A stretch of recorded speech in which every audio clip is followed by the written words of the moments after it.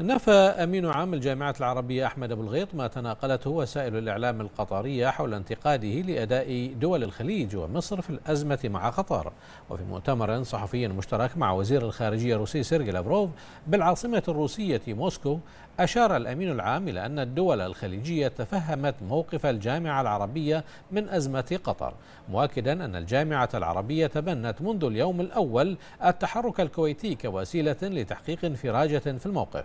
مشيرا إلى أن الجامعة العربية أبدت استعدادها للتحرك في الأزمة إذا طلبت الأطراف المختلفة ذلك باعتبار أن كل دول الدول أعضاء في الجامعة